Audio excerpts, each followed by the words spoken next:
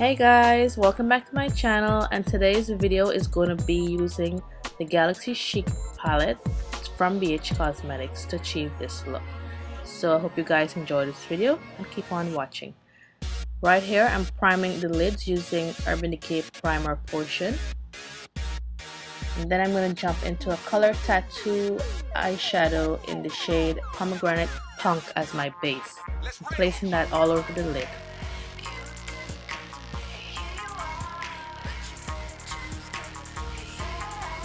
And then going in, going in with a Makeup Geek shadow in Creme Brulee, I'll be blending the edges out.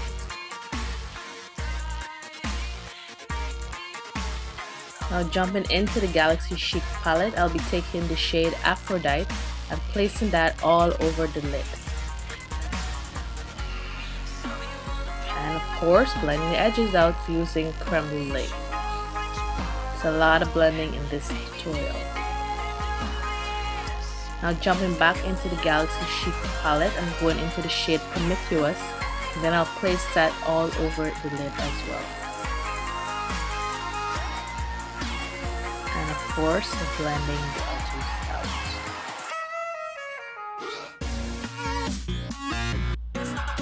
Now here I'm going in with the BH Party Girl palette, taking the black shadow from that palette, placing it on the outer part of the eye and slightly putting it up into the crease halfway. I'm just placing the shadow there for now and then I'm going to go in with the blending brush and blend and diffuse that black out.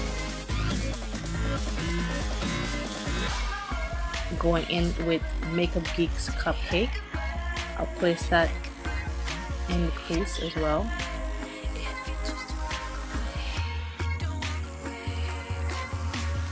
And then I'm going to be going back into Promiscuous and just putting that on the inner part of the lid just in case you lost that with all the blending. And using any white shadow you can put that on your brow bone as your highlight shade.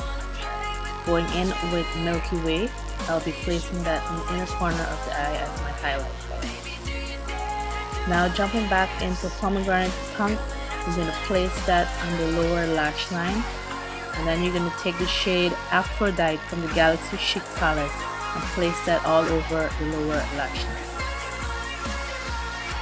And then using the shade Cupcake by Makeup Geek, you want to blend that shadow out. Now jumping back into the black shadow, you're going to put that all over the outer part of the eye, wrapping it around, connecting it to the top, and then just blending it. I'm going in with my favorite gel liner of all times. It's the Inglot number 77 black gel liner. And I'm just putting that all over the lash line. No winging today. I'm going in with MAC Smolder Pencil. I'll be tight lining and putting that in the waterline as well. And here I'll just be curling my lashes. And today's choice of mascaras is the Too Faced Better Than Sex mascara and the what is this one? It's from They're Real mascara from Benefit.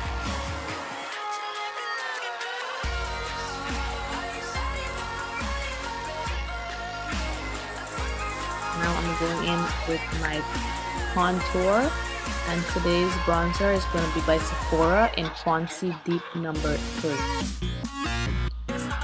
Doing the usual, you guys know how we do it.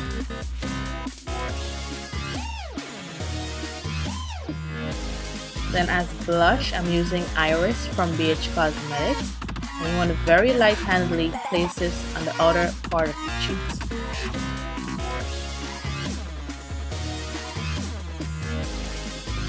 Jumping into highlight, I'll be using Soft and Gentle by MAC, putting that on the higher points of the cheeks, the bridge of the nose, on the cupid bow, and the chin and the forehead.